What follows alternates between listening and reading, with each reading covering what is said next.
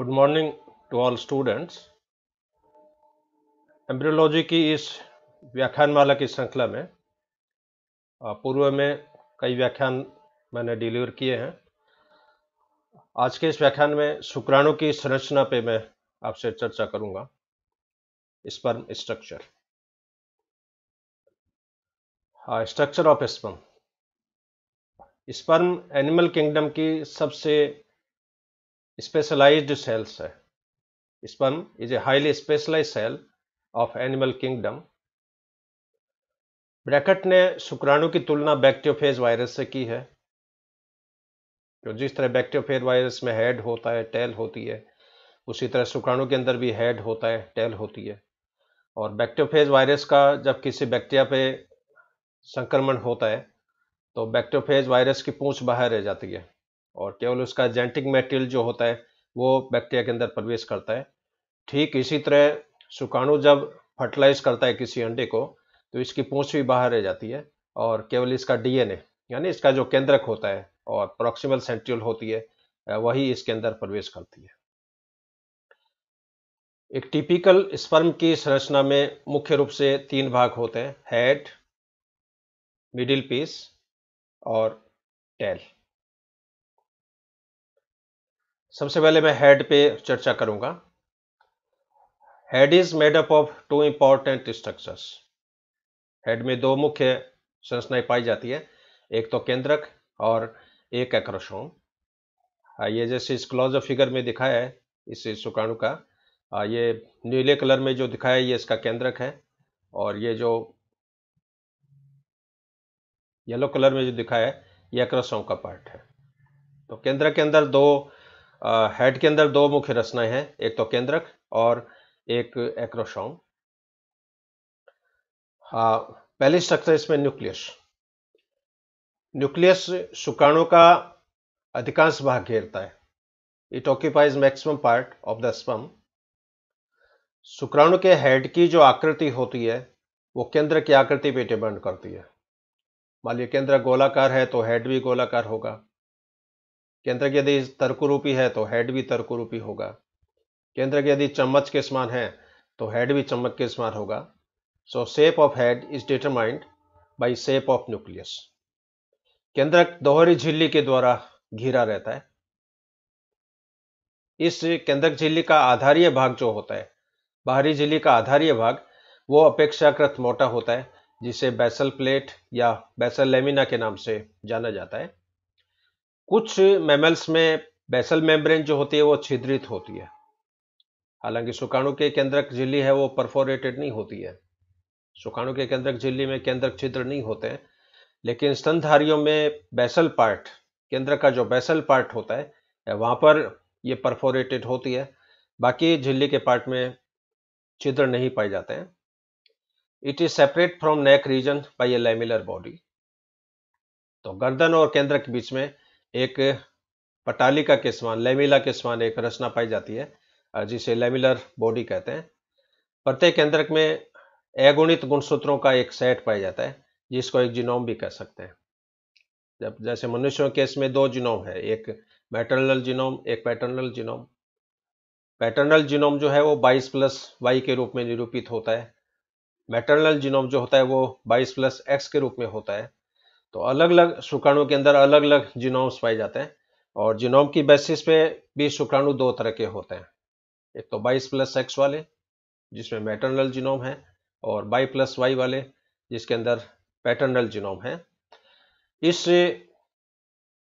केंद्र के अंदर हैप्लॉइड सेट जो होता है क्रोमोसोम्स का, वो अत्यधिक दृढ़ता से बंधा हुआ होता है और इसमें क्षारीय प्रोटीन्स होते हैं। हिस्टोन प्रोटीन इसमें नहीं पाई जाती है। क्यों जब शुक्राणु की फॉर्मेशन होती है तो हिस्टोन प्रोटीन का प्रतिस्थापन प्रोटेमिन प्रोटीन से हो जाता है। न्यूक्लियस के अंदर केंद्रिका अनुपस्थित होती है, आरएनए उपस्थित होता है, तरल जो होता है कैरियोप्लाज्म, वो लगभग अनुपस्थित होता है और हिस्टोन प्रोटीन जो होती है वो प्रोटेमिन प्रोटीन्स के द्वारा प्रतिस्थापित हो जाती है। इसके कारण डीएनए जो होता है वो अत्यधिक दृढ़ता से पैक हो जाता है और एक छोटी सी जगह में क्योंकि केंद्र की साइज़ पहले छोटी हो जाती है और इस छोटी जगह में अधिक से अधिक डीएनए को पैक करना आ, इनका मुख्य उद्देश्य होता है। इसलिए histamine protein is replaced by protamines proteins due to which DNA material is highly packed in a very small space second part इसका एक्रोसोम एक्रोसोम सुकाणु की प्लाज्मा झिल्ली और केंद्र के बीच उपस्थित होता है। एक्रोसोम का आकार और आकृति जाते विशिष्ट होता है। एक्रोसोम एक इकाई झिल्ली के द्वारा घिरा रहता है। एक्रोसोम एक प्रकार का लाइसोसोम है, क्योंकि इसकी उत्पत्ति, इसकी फॉर्मेशन गॉल्जी बॉडीज के द्वारा होती है और इसमें अनेक प्रकार के हाइड्रोलाइटिक एंजाइम्स पाए जाते हैं, जो निषेचन के दौरान अंडे की झिल्लियों को डिजोल्व करता है। So acrosome is a type of sperm lysosome because it contains many hydrolytic enzymes ये सुकाणु के इस चित्र में आप देख रहे हो। ये जैसे हेड रीजन है इसका, ये मिडिल पीस है, ये टेल है, और हेड के अंदर सबसे ऊपर एक्रोसोम है। एक्रोसोम के नीचे केंद्रक होता है। केंद्र के नीचे मिडिल पीस है जिसके अंदर ये डिस्टल सेंट्रियोल है, उसके चारों ओर ये माइटकोंडिया उपस्थित है। और पूंछ है वो एक तरह की फ्लेजलम का कार्य करती है। और ये प्रोपल्जन के अंदर और तैरने के अंदर ये मूवमेंट करती है तैरने के अंदर हेल्प करती है। एक्रोसोम में अनेक प्रकार के एंजाइम्स पाए जाते हैं, लेकिन अलग अलग जातियों के एक्रोसोम्स में अलग अलग एंजाइम्स पाए जाते हैं। इस बात को मैं यूँ भी कह सकता हूँ कि सुकाणु की एक्रोसोम में जो एंजाइम है, वो जाति विशिष्ट होते हैं।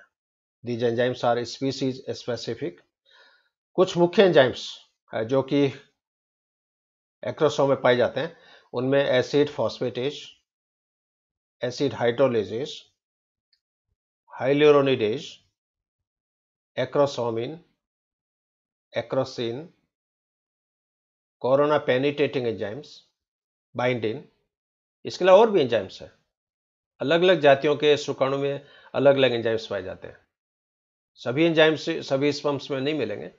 इसका मेन कारण क्या है कि अलग अलग जातियों के अंडों में अलग अलग तरह की एग मेम्ब्रेन्स पाई जाती है और इन एग मेम्ब्रेन्स का केमिकल कंपोजिशन भी अलग अलग होता है तो उनको डाइजेस्ट करने के लिए अलग अलग तरह के एंजाइम्स चाहिए। जैसे मनुष्यों की केस में यदि देखें तो अंडे में सबसे बार क्यूमुलस लेयर होती है, उसके नीचे कॉर्ना रेडिएटा होती है, उसके नीचे फिर जोना पैलोसिडा होती है। इंसेक्ट का एंडी आप देखो तो उसके अंदर कोरियोन आवरण होता है, जो काइटिन का बना होता है। स्कॉरियन के नीचे प्लाज्मा झिल्ली होती है। मेंडेकेंडे में जैली आवरण होता है और अलग अलग एग मेम्ब्रेन्स होती है, उनका रासायनिक संगठन भी अलग अलग होता है और उनको डाइजेस्ट करने के लिए अलग अलग एंजाइम्स की आवश्यकता होती है। केंद्रक और एक्रोसोम के बीच में एक छोटा खाली स्थान भी पाया जाता है, जिसे परफोरेटोरियम या सब एक्रोसोमल स्पेस या एक्रोसोमल कॉन या एक्सेल बॉडी के नाम से जाना जाता है। इस परफोरेटोरियम में प्रोफाइलेक्टिन प्रोटीन्स भरा रहता है। और प्रोफाइलेक्टिन प्रोटीन है, ये प्रोफाइलिन प्रोटीन और जी एक्टिन का मिक्सचर है। तो परीक्षा के अंदर ये परफोरेटोरियम का क्वेश्चन बहुत आता है। What is perforatorium define perforatorium so perforatorium is the space which is present between acrosome and nucleus and it is filled by prophylactin protein and calcium ion. Acrosome reaction के दौरान profile actin विदलित हो जाता है calcium की presence में। क्योंकि सुकाणु में जितनी भी रिएक्शंस होती है, वो चाहे एक्रोसोम रिएक्शंस हो या अंडे के अंदर कॉर्टिकल रिएक्शंस हो पेनिटेशंस हो, सबके अंदर कैल्शियम आयनों की आवश्यकता होती है। तो एक्रोसोम रिएक्शन जब होती है तो कैल्शियम की प्रेजेंस में प्रोफाइलेक्टिन प्रोटीन अपने दोनों घटकों में टूट जाता है। प्रोफाइलिन प्रोटीन अलग हो जाता है जी प्रोटीन अलग हो जाता है। यहाँ पर जी का अर्थ है ग्लोबुलर गोलाकार। अब ये जी एक्टिन पॉलीमराइज होकर एफ़ टेक्टिन में कन्वर्ट हो जाता है। यहाँ पर एफ़ का अर्थ है फाइब्रस जी का अर्थ है ग्लोबुलर जी एक्टिन है, ये मोनोमर है। एफ़ एक्टिन जो है, ये पॉलीमर है।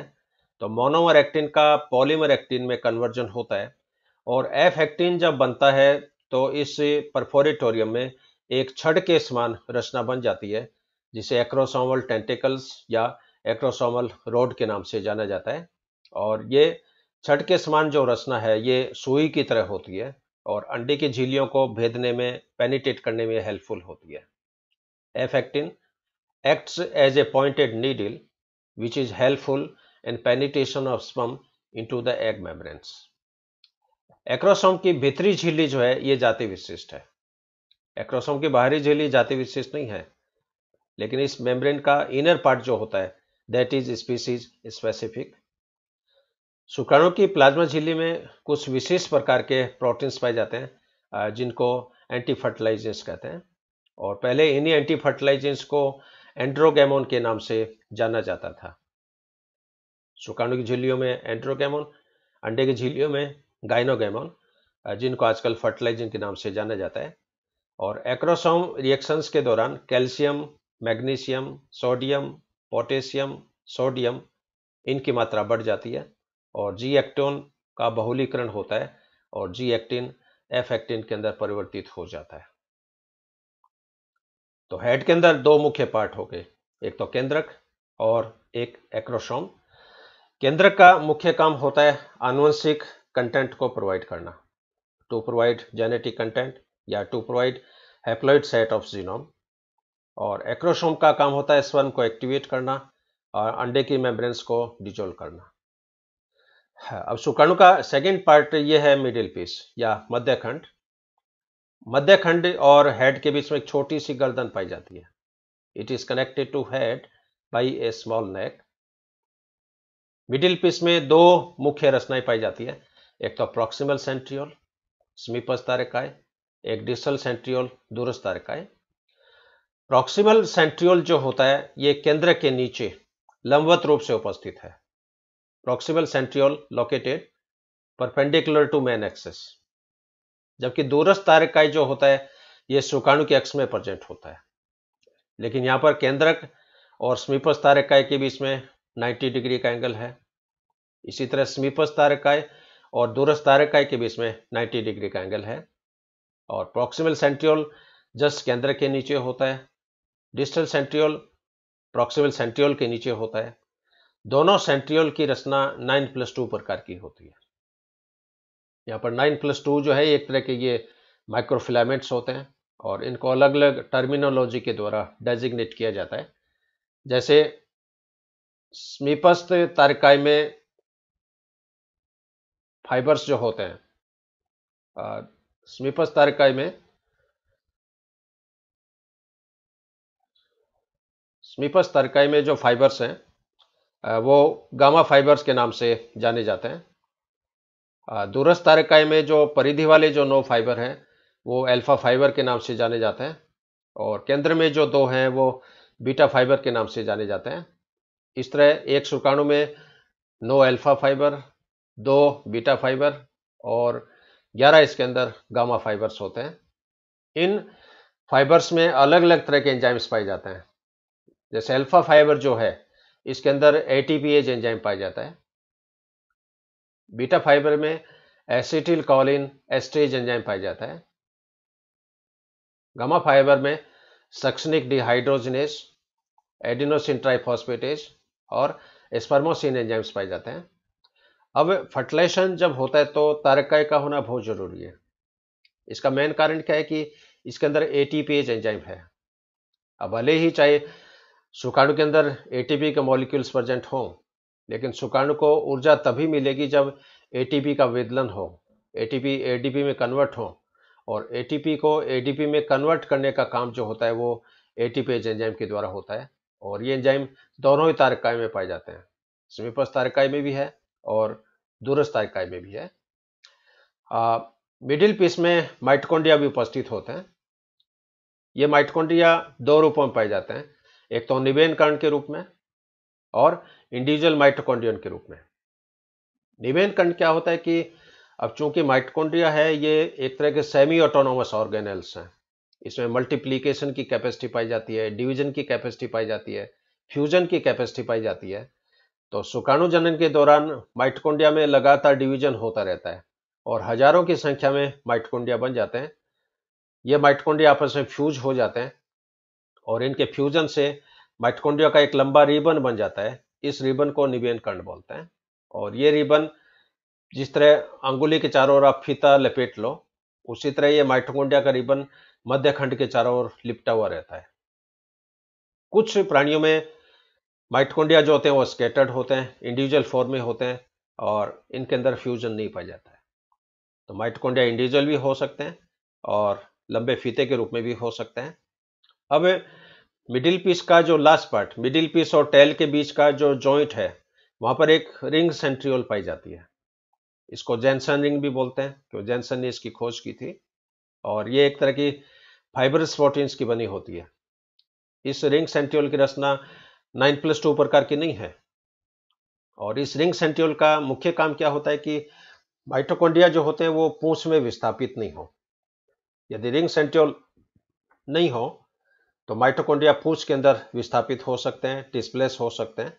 तो माइटोकॉन्ड्रिया के शिफ्टिंग को डिस्प्लेसमेंट को रोकने के लिए ये रिंग सेंट्रियोल जो है ये पाई जाती है। रिंग सेंट्रियोल का मेन पर्पज जो है वो shifting of mitochondria from middle piece to tail the main purpose of ring centriole is to prevent the shifting of mitochondria from middle piece to tail इस मिडिल पीस में कोशिका दरवे की एक पतली परत भी पाई जाती है, जिसे मैंचेट कहते हैं।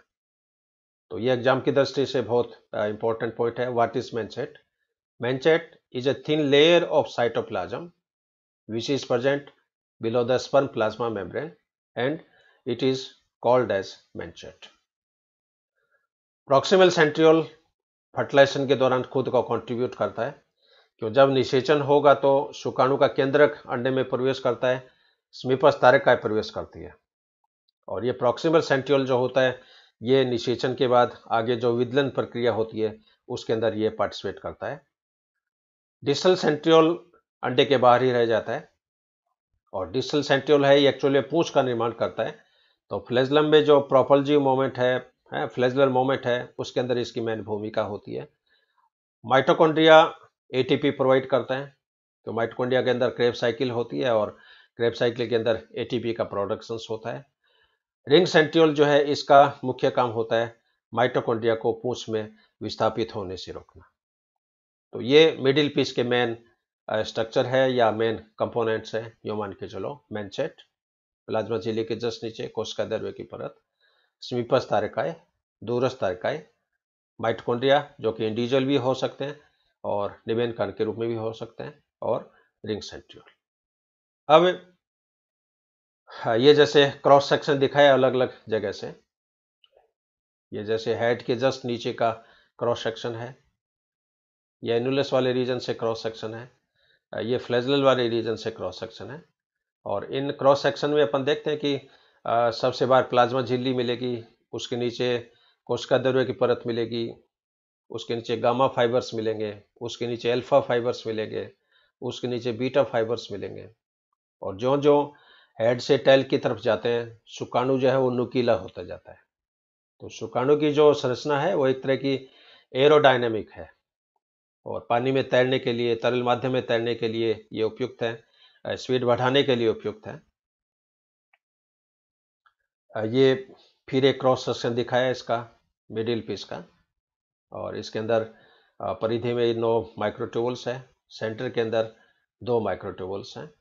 और इनके अलग अलग टर्मिनोलॉजी है इसको अपने alpha fibre beta fibre gamma fibres के रूप में इसको अपन रिप्रेजेंट किया है। तीसरा जो पार्ट है सुकाणु का, ये है पूछ। पूछ सुकाणु का सबसे लंबा भाग है। It is the longest part of the sperm पूछ को दो खंडों में डिवाइड कर सकते हैं। एक तो मुख्य खंड प्रिंसिपल पीस दूसरा अंतिम खंड या एंड पीस प्रिंसिपल पेस्ट जो है, ये पूंछ का मैक्सिमम पार्ट बनाता है। It constitutes maximum part of the flagellum और इसकी रचना नाइन प्लस टू प्रकार की होती है। लेकिन मुख्य खंड में भी दो कॉलम बन जाते हैं। एक तो एंटीरियर कॉलम ए पोस्टीरियर कॉलम इन कॉलम का निर्माण कैसे होगा कि गामा फाइबर जो होते हैं गामा फाइबर जब पीछे की तरफ़ जाते हैं तो उसमें दो गामा फाइबर लेटरल साइड में बैंड हो जाते हैं। और उनके बैंड होने से मिडिल पीस में दो कॉलम बन जाएँगे। एक तो अग्र स्तंभ एक पश्च स्तंभ एंड पीस जो है ये सुकाणु का अंतिम भाग है और इसमें केवल नाइन प्लस टू प्रकार का संगठन जो होता है वो पाई जाता है। इस फिगर में आप देख रहे हैं का ये एंटायर कॉन्फ़िगरेशन दिखाया है इसके अंदर। हेड के अंदर ये न्यूक्लियस है न्यूक्लियस में केंद्रिका है, ये बाहर एक्रोसोम है, ये मिडिल पीस वाला रीजन है। इसके अंदर समीपस्थ तारकाय दूरस्थ तारकाय और इस सेंट्रल के चारों ओर ये माइटकोंड्रिया जो है वो प्रजेंट है और जो जो पीछे जाएँगे पूछ जो होती है वो नुकीली होती जाती है। अब है इसमें टाइप्स ऑफ़ स्पम अब शुक्राणु फ्लेजला के आधार पर दो तरह के हो सकते हैं। एक तो फ्लेजिलेटेड स्पम एक non flagellated sperm flagellated sperm भी दो प्रकार के हो सकते हैं। कुछ शुक्राणु के अंदर एक कसाविका पाई जाती है, वो मोनोफ्लेजिलेटेड स्पम्स कहलाते हैं। कुछ के अंदर दो कसाविकाएँ पाई जाती है, वो बाईफ्लेजिलेटेड स्पम्स कहलाते हैं। जिस तरह पाइला के अंदर दो तरह के शुक्राणु मिलते हैं ओलिगोपायरिन स्पम और यूपायरिन स्पम बिना पूछ वाले जो शुक्राणु है, ये एस्कैरिस में पाए जाते हैं प्रोकैम्ब्रस में पाए जाते हैं। एस्कैरिस का जो शुक्राणु है, ये अमीबोइड प्रकार का है। और इसके अंदर केंद्रक होता है, समीपस्थ तारिकाय होता है, दूरस्थ इसमें नहीं पाई जाती है। इसमें आप देख रहे हो अलग अलग प्रजातियों के शुक्राणु की जैसे स्ट्रक्चर है, ये फ्योक्सस का दिखाया है ये मुर्गे का दिखाया है, चूहे का दिखाया है, ये मनुष्य का स्वम है, मेंढक का स्वम है, ये सेलामेंडर का स्वम है, ये प्रोकैम्ब्रस का स्वम है एम्फियोक्सस का ये एस्करिस का स्वम है। तो शुक्राणु की जो आकृति है वो जाति विशिष्ट है। और अलग अलग शुक्राणु के हेड की जो आकृति है वो अलग अलग प्रकार की होती है। हाँ, अब क्वेश्चन है कि शुक्राणु को एनर्जी कहाँ से मिलती है? उपापचय के संबंध में। एनाबोलिक हाँ, पार्ट लगभग नगण्य से होता है इसमें। कैटाबोलिक पार्ट है यह बहुत ज़्यादा इंपॉर्टेंट है। और इसमें भी एवाईवीय ग्लाइकोलाइसिस होता है। क्योंकि शुक्राणु में प्रॉपर ऑक्सीजन सप्लाई नहीं होने कारण शुगर का एवाईवीय ग्लाइकोलाइसिस होता है और रेस्पिरेशन के अंदर इसमें जो मुख्य जो सबस्टेट होते हैं, वो लैक्टेट होते हैं पायरुवेट होते हैं एसीटेट होते हैं फॉस्फोलिपिड्स होती है। ये पोषक जो पदार्थ हैं इसमें एनर्जी प्रोवाइडर जो है, इनका मुख्य स्रोत या तो शुक्राणु के अंदर ही होता है या शुक्राणु के बाहर से होता है। क्योंकि सीमन के अंदर ये पोषक पदार्थ जो होते हैं, मौजूद रहते हैं, इनका अवशोषण होता रहता है और ये एनर्जी प्रोडक्शंस में ये पार्टिसिपेट करते हैं। जीवन अवधि। सामान्यतया एक शुक्राणु की लाइफ 50 से 60 मिनट तक होती है। लेकिन शुक्राणु जब रेस्टिंग स्टेज में हो डोरमेंट स्टेज में हो और कुछ प्राणियों के फीमेल बॉडी में प्रवेश करने के बाद में शुक्राणु कई महीनों, कई वर्षों तक ज़िंदा रह सकते हैं। जैसे हनीबी के अंदर, यदि हनीबी की फीमेल बॉडी में स्पर्म प्रवेश कर गए तो वहाँ पर ये कई महीनों तक ज़िंदा रह सकते हैं। इस प्रकार की घटना चमगादड़ में पाई जाती है और कोल्ड स्टोरेज में जहाँ पर क्राय प्रिजर्वेशन किया जाता है, वहाँ पर लिक्विड नाइट्रोजन में इन क्रोमोसोम्स को इन स्पम्स को स्टोर किया जाता है और वहाँ पर ये शुक्राणु 10 साल 15 साल तक जो होते हैं वो सुरक्षित रहते हैं। और आर्टिफिशियल इंसेमिनेशन केस में इनको यूज़ किया जाता है। जनरली जो लाइफ स्पान है शुक्राणु की वो 50 से 60 मिनट तक होती है। फीमेल बॉडी में प्रवेश करने बाद में इसकी लाइफ जो होते हैं वो बढ़ जाती है। और हनी भी और चमगादड़ में है तो ये शुक्राणु फीमेल बॉडी में कई महीनों, कई वर्षों तक ज़िंदा रह सकते हैं। कोल्ड स्टोरेज में इसको 10 साल 20 साल तक आप प्रिजर्व रख सकते हो, सुरक्षित रख सकते हो। है अब एक, आजकल जो रिसर्च चल रही है शुक्राणु में, वो इसके प्रोटीन केमिस्ट्री पे चल रही है।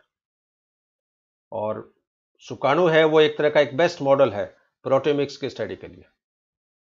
और अभी तक जो हमने डिस्कस किया, आपने देखा कि शुक्राणु के हर पार्ट में कोई न कोई एंजाइम्स कोई न कोई प्रोटीन्स प्रेजेंट है। सुकांड के एक्रोसोम में हाइड्रोलाइटिक एंजाइम्स हैं, इसके केंद्रक में अलग तरह के प्रोटीन्स हैं हैं, इसके सेंट्रियोल के अंदर जो अल्फ़ा बीटा गामा फाइबर्स हैं, उसमें अलग तरह के प्रोटीन्स हैं। तो आजकल ये बहुत डिटेल डिस्कवरी हो गई है और कई तरह की इसमें पीएचडी अवार्ड हो गई है, केवल सुकाणु पाए जाने वाले प्रोटीन्स की स्टडी के लिए। इस फिगर में आप देख रहे हो, ये इसमें ज़्यादा मैं डिटेल में नहीं जाऊँगा क्योंकि ये पीएचडी लेवल का ये डायग्राम है और उस संबंध की चर्चा मैं यहाँ पर मैं नहीं करूँगा। लेकिन इस फिगर में ये एंजाइम्स दिए हैं इसमें। है, जैसे हेड के अंदर कौन से एंजाइम है, गर्दन में कौन से एंजाइम है मिडिल पीस के अंदर कौन कौन से एंजाइम्स हैं टेल के अंदर कौन से एंजाइम्स हैं, और इन एंजाइम्स का अपना अपना नॉमन है अपना अपना एब्रीविएशंस हैं, इनके संश्लेषण के लिए अलग अलग जीन जो होते हैं, वो उत्तरदायी होते हैं, और एक प्रकार से टिपिकल टास्क है। यहाँ पर मैं इसकी मैं चर्चा नहीं करूँगा। एक ये कंप्यूटराइज एनिमेशन है शुक्राणु की संरचना की शॉर्ट में। ये मैं आपसे शेयर करूँगा। ये कंप्यूटराइज एनिमेशन दिखाई है इसके अंदर शुक्राणु ये जो है मोमेंट कर रहे हैं। ये शुक्राणु का हेड है, ये मिडिल पीस है ये इसके अंदर पूंछ है। उसमें निरंतर तरंगित गति होती रहती है। अंडुलेटिंग मोमेंट जो है, वो होती रहती है। हेड के अंदर ये सबसे आगे एक्रोसोम इसके पीछे ये केंद्रक मिडिल पीस में ये समीपस्थ तारकाय ये दूरस्थ तारकाय और इसके चारों ये माइटोकॉन्ड्रिया जो है वो कुंडलित रूप में स्पाइरल रूप में ये लिपटे हुए हैं। ये इसकी पूंछ का पार्ट है, और पूंछ में निरंतर अंडुलेटिंग मोमेंट होती रहती है। इस अंडुलेटिंग मोमेंट के कारण शुक्राणु जो होता है वो तैर के आगे चलता रहता है। क्योंकि फर्टिलाइजेशन हमेशा तरल माध्यम में ही होता है। बॉडी के बाहर भी यदि फर्टिलाइजेशन हो रहा है तो उसमें भी फ्लूड माध्यम की आवश्यकता होती है। और फीमेल बॉडी के अंदर भी यदि फर्टिलाइजेशन हो रहा है तो उसके अंदर भी फ्लूड मीडियम की आवश्यकता होती है। और फ्लूड मीडियम में शुक्राणु के अंदर ये एनिमेशन होता है। ये एक कंप्यूटराइज फिगर है शुक्राणु का। ये इसके अंदर शुक्राणु का हेड ये मिडिल पीस ये टेल ये एक वीडियो लिंक है जिसमें शुक्राणु के एनिमेशन, आप इंटरनेट यदि बैकग्राउंड में चल रहा हो तो इसको जस्ट क्लिक करते ही ये स्लाइड जो है वो चालू हो जाती है। हाँ ये एक बहुत ही संक्षेप में मैंने आपको समझाने की कोशिश की है। हाँ एक बार मैं पुणे ब्रीफ में थोड़ा डिस्कस कर दूँ। शुक्राणु की संरचना तीन भागों में डिवाइड होती है, हेड, मिडिल पीस और टेल। हेड के अंदर दो मुख्य रचनाएँ हैं एक्रोसोम और न्यूक्लियस एक्रोसोम का काम होता है फर्टिलाइजेशन के दौरान, अंडे की झीलियों को डिसोल्व करना. केंद्र का मुख्य काम होता है हैप्लॉइड जीनोम को प्रोवाइड करना. मिडिल पीस के अंदर दो तारकाएँ मिलते हैं प्रोक्सिमल सेंट्रियोल और डिस्टल सेंट्रियोल इसके अलावा इसमें माइटोकॉन्ड्रिया पाए जाते हैं.